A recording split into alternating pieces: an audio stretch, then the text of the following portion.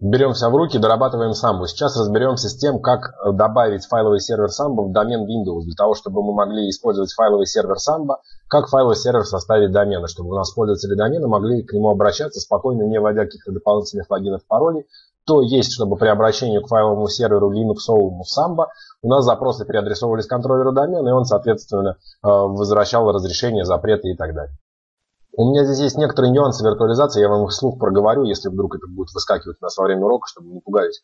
Значит, у меня это все в виртуальной среде сделано для уроков, и всего одна сетевая карточка этой машины, поэтому сейчас у меня IP-шник выдает мой рутер, я вам сейчас это продемонстрирую, и у меня есть выход в интернет. Затем, когда я добавлю эту машину в свою виртуальную локальную сеть, у меня выхода в интернет не будет. Для чего это я говорю? Сейчас я скачаю все необходимые пакеты, которые нам пригодятся для того, чтобы у меня сам могла работать в домене. У вас, скорее всего, в реальной сети все машины имеют выход в интернет. Вам особенно заморачиваться не надо, я просто буду периодически на это обращать внимание. Значит, я вам уже говорил о том, что у нас есть различные инструменты для установки пакетов э, в Ubuntu, в Debian, из которого Ubuntu пошла это DPKG, допустим, или apt-get, или aptitude. Я хочу сейчас, например, воспользоваться aptitude. Для начала мне нужно, чтобы aptitude обновил информацию о своих репозиториях. Сейчас он выясняет, какие есть сервера в интернете с его пакетами, чтобы с них брать актуальную информацию э, при установке необходимых приложений, чем сейчас будем заниматься. Для чего я это обновил? Очень часто меняется название приложения, месторасположение приложения и так далее.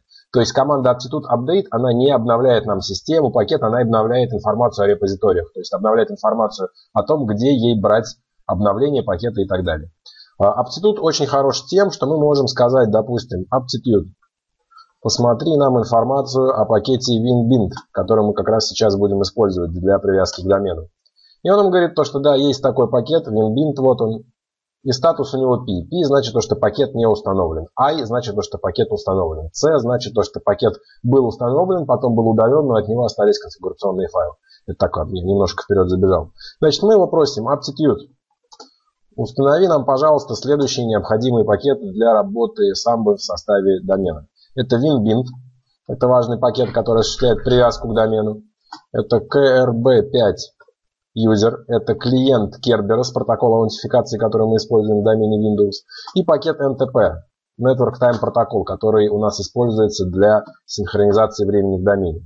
Я никак не привык использовать SuperUser Do. Да, я хочу все пакеты эти установить. Прекрасно. И Kerberos раньше ставился просто, без разговоров. Сейчас Kerberos нам начинает задавать вопросы при установке. И это очень удобно, потому что раньше нам приходилось вручную править конфигурационный файл, а теперь нам достаточно здесь указать все, что мы хотим, и Kerberos сам составит свой конфигурационный файл. То есть имейте в виду, в предыдущих версиях э, Ubuntu, предыдущей версии Kerberos, вот это вот Kerberos это все не спрашивает. Значит, здесь он нас спрашивает, в какой области мы будем работать. У меня домен виртуальный от моей виртуальной сети MTI Local, которую я использую для уроков MTI, я пишу здесь как раз таки домен в капслоке.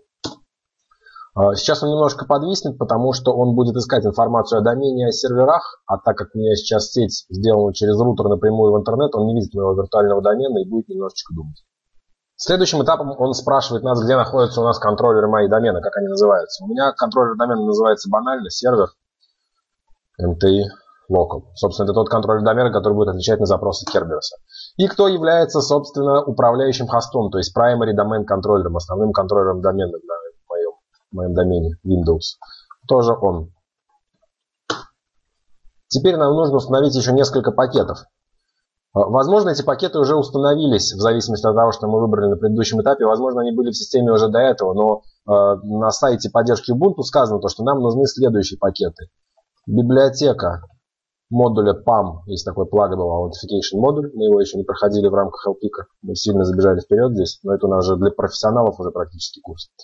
Дальше нам нужна такая же библиотека libpam для WinBind. И такая же библиотека libnss тоже для WinBind. Как будет у нас в теоретической части занятия по этим модулям, я брошу в этот урок ссылки на эти занятия. А, так вот, у нас, скорее всего, эти модули все уже установлены, может быть, какого-то одного не хватает. А, ну, вдруг у вас будет другая конфигурация, вдруг в Ubuntu что-то поменяется, еще когда-то что-то поменяется. Поэтому лучше эти модули указать вручную. Видите, он здесь сказал, то, что у меня, в принципе, есть уже эти пакеты, и только один пакет, вот этот вот LibPAM KRB5, он мне установил. Остальные у меня в системе уже были. Чищу экран, все, что нужно мне. мы установили. Сейчас я поменяю себе сеть на виртуальную сеть, которая будет у меня совпадать с моим контроллером домена, и мы продолжим. Поменял я настройки, мой сервер DHCP в моей локальной виртуальной сети выдал моему компу IP-шник 0.102, меня это все устраивает. Нам нужно посмотреть теперь, какие параметры DNS мы получили. В Ubuntu у нас параметры DNS лежат в файле etc resolve .conf. Об этом, по-моему, тоже мы еще в теоретической части не говорили. И мы видим, в принципе, то, что я через DHCP получил нужные параметры. Я получил то, что у меня name сервер, это мой э, сервер 192.168.0.1, мой контроллер домена, я знаю, что это так. И что у меня домен, поиском, поисковый домен это mt.local. Здесь, по идее, еще должна быть строчка домен, пробел имя домена, но, по идее, будет работать и без нее. В любом случае, если у вас нет DHCP, у вас статика, тогда вам нужно поправить файл. Причем править файл нужно не этот. Давайте я с вами его попробую зайти, чтобы вам на будущее показать. А файл etc resolve conf resolve confd head заголовок. И вот все, что вы допишете сюда, будет автоматически добавляться в файл etc resolve conf. Это может все меняться в различных дистрибутивах Linux. Не везде так настроена работа с DNS. Тут я вам показал. И еще у нас есть вариант, когда DHCP нам корректно не выдает. Например, сегодня на уроке с пользователями я увидел то, что у нас Ubuntu клиент по DHCP ни в какую не хочет принимать ни DNS сервер, ни имя домена. Не знаю почему. Для того, чтобы по DHCP получить все, что мы хотим, или перенастроить э, DHCP, мы с вами лезем точно так же в файл vim etc DHCP DH клиент. .com. И здесь мы с вами откомментируем вот эти две строки. Первую это перезаписать имя домена на то, что нам нужно, в данном случае MTI Local, и переуказать имя DNS сервера на 192.168.0.1 в моем случае. То есть тогда он будет игнорировать настройки, полученные от DHCP сервера, и будет указывать то, что мы пропишем здесь. Я этого всего делать не буду. У меня и так все работает. А следующий момент нам нужно убедиться, то, что у нас правильное имя сервера. Я вот вижу, что у меня сервер называется сервер, и тот сервер называется сервер, что, конечно, плохо, потому что у меня не может быть два одинаковых DNS имени в сети, начнется бардак. То есть мне компьютер надо переименовать. Для этого я полезу в файл etc hostname и скажу, что у меня не сервер, а какой-нибудь, допустим, давайте пусть это будет UB сервер. Я надеюсь, я зашел, это не суперпользователь, да? Escape, ZZ, Отлично. Ну и, наверное, для порядка давайте сразу же пойдем в etc hosts и там поправим все, что я хочу. У нас есть файлик такой etc hosts. И в нем у меня указано имя моего сервера. Здесь я, ну по идее после перезагрузки он сам поменяет здесь сервер на UB сервер. Ну я сейчас уже вручную, так уж и быть, раз я здесь нахожусь, скажу ему, что у меня UB сервер. И здесь нужно дописать доменный суффикс mti.local и потом просто его простое имя, UB сервер. К слову сказать, если вдруг у вас не будет пинговаться контроллер домен, опять же, в разных дистрибутивах по-разному. Я помню то, что у меня в OpenSUSE и во FreeBSD ни в какую не хотел он пинговать контроллер домена по полному имени. Тогда вы здесь ниже можете дописать строку 192.168.0.1 полное имя контроллера домена, простое имя контроллера домена. То есть это аналог того же файла, который лежит у нас на Windows в папке Windows, etc, drivers и так далее. Там у нас есть файлик hosts, который как раз таки занимается тем же самым. Windows он лежит там, в Linux он лежит здесь. Сохраняю. Ну и, наверное, давайте для порядка, чтобы все изменения применились, я перезагружу сервер. На записи это я вам показывать не буду. Перезагрузился и сразу же вижу, что имя сервера у меня уже поменялось на UB сервер. Вот. Все прекрасно.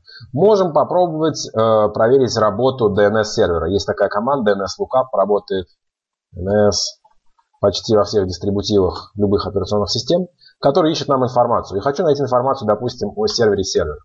И вижу то, что да, есть такой сервер. Попробую с полным доменным именем. MTI local. Вижу то, что все работает. Мне отвечает сервер 01, который является моим DNS-сервером, прослушивает по 53 порту запросы, и говорит, что да, есть у меня такой сервер, сервер MTI local.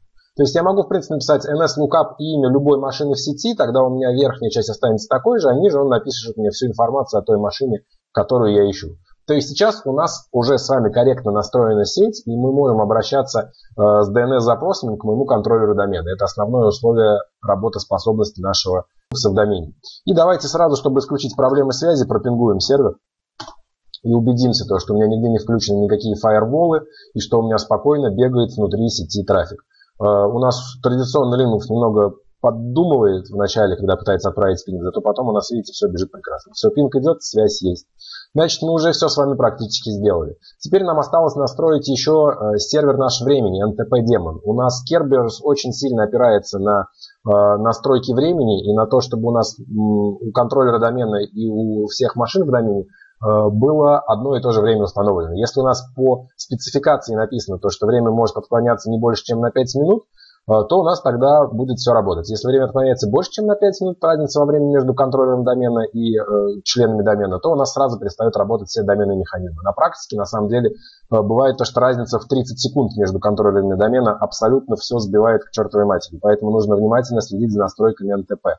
То есть время всегда должно быть одинаковое во всем домене, на всех машинах. Тут возникает сразу же вопрос с тем, что очень часто в домене время сдвигается, но есть очень хорошая информация в интернете, как это настроить. Просто когда мы создаем контроллер домена, он перестает синхронизироваться э, с интернетом по часам своим. Это поправить буквально можно одной строчкой в командной строке, тогда у вас у всех будет нормальное время. Но это я отвлекся. Значит, давайте настроим наш демон времени. Для этого нам нужно от имени суперпользователя отредактировать файл конфигурационный вот этого самого демона времени ntp.com. Там, в принципе, тут особенно ничего нету а, такого интересного. Вот здесь указаны сервера времени. Я dd, dd, dd сотру все, что мне не нравится. И допишу вот здесь вот то, что есть у меня сервер времени такой. Сервер MTI Local. То есть теперь у меня он будет брать информацию о времени с моего контроллера домена, и тогда у меня все будет работать прекрасно. Это самая частая ошибка, почему не работает у нас доменные механизмы, если есть расхождение во времени. И для того, чтобы у меня применилась вся эта инфа, все эти изменения, я пишу etc init.d ntp демон restart. Не уверен, что ntp демон, по-моему, просто ntp restart. Попробуем. Да, ntp, он без d называется. Служба времени перезагрузилась, перезапустилась. Теперь у меня, по идее, одно и то же времени контроля домена и тут. А теперь проверяем настройки Кербероса. Все настройки Кербероса. Давайте я почищу экран опять же. Напоминаю, я записываю сейчас в хорошем качестве, и вы теперь можете смотреть в HD качестве, там справа снизу на YouTube, если выберете качество. И по идее вам тогда будет прекрасно видно весь набираемый код. А, что я делал? Настраиваю Kerberos ETC. Как я вам уже говорил, у нас с вами КРБ. Почему он не находит? У нас с вами, а потому что я написал действие, редактор, есть э, новый пакет Kerberos, который сам настраивается во время установки. Мы сейчас зайдем в него и поглядим, что он настроил. По идее, мы должны вот здесь поменять default realm, но он уже сам прописал во время конфигурации нужное нам значение. Затем ниже нам нужно проверить правильные сервера, что у нас указаны вот здесь, вот как KDC и админ сервер. Kerberos Domain Controller и сервер, который отвечает за Kerberos, тоже правильно все указано. Дальше у нас идут пробные домены, которые нам никак не мешают, он просто показывает, как может быть вот это все настроено, если у нас несколько контроллеров домена, другие порты, разные доменные имена и так далее. Так как у нас наше имя домена не совпадает ни с кем из вот этих вот приведенных, нам это абсолютно безразлично, оставляем эти строки кода. И вот здесь вот дописываем. Тут он сам еще дописывать не научился. Мы пишем то, что если мы хотим обратиться к корневому домену mti.local, с точки обязательно начинаем, потому что точка это у нас домен высшего уровня, то это значит мы имеем в виду домен mti.local. Просто вот такое соответствие нужно ему написать. По идее, ниже нужно точно так же написать то, что просто mti.local это тоже большой mti.local. У Кербероса есть небольшие проблемы вот эти вот с заглавиями, с прописными буквами. Вот такие две строчки добавляем. Escape. Сохраняемся. Чистим экран. И теперь самый ответственный момент. Проверяем связь домена. Для этого мы должны запросить Kerberos билет у контроллера домена. Я пишу kinit Kerberos initialization. Для пользователя есть у меня администратор домена. Я так люблю называть администраторов домена. MTI local. Спрашивает пароль администратора домена мой. Можно запросить билет не обязательно по администратору, по любому пользователю. То есть мы сейчас фактически обращаемся к контроллеру домена за разрешением поработать в домене, авторизовываемся на нем через Kerberos. И сейчас он вроде бы меня опустил. Для того, чтобы это проверить, есть команда clist. Kerberos list. Clist. И она нам показывает тот механизм, который у нас в Windows работает автоматически, мы это все не видим. А он там для нас прозрачен. А здесь мы видим то, что у меня есть билетик, по нему есть кэш. То, что я от имени AD админа запросил билет. И у меня этот билет начал работать сегодня в 14.10. Через 10 часов он у меня работать перестанет. Вот этот товарищ запросил билет. И билет должен быть обновлен не раньше, чем тогда-то. Если мы будем постоянно работать в домене, билет будет обновляться автоматически. Если изменится пароль администратора, или пароль этого пользователя, или сервер доменный, тогда, конечно, билет обновляться не будет. Но это сейчас мы просто запросили билет. В следующем уроке мы добавляем уже в домен машину, и там это будет все еще больше автоматизировано. Подводим итог. Мы с вами установили все необходимые приложения и библиотеки, которые нам пригодятся для домена подстроили сетевые параметры, э, немножечко отредактировали файл э, настроили службу времени, после чего запросили у контроллера домена разрешение работать, попросили у него билет и получили билет. На самом деле очень много ошибок возникает вот в этот момент, когда мы пишем Kimet и э, затем какого-то пользователя. Там может возникать огромное количество ошибок. На самом, в интернете у нас полно решений для этих ошибок. Если сами не найдете, пишите мне в комментариях к видео, я вам помогу разобраться. Но если вы потом э, командой K-List получили билет, вы молодцы, вы львиную долю работы сделали.